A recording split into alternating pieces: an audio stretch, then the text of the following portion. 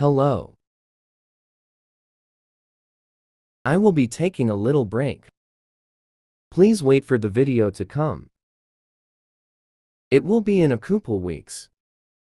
You can still watch Midictics. And please understand. Stay safe, stay home, wash your hands, and 1 meter social distancing and wear mask. Bye.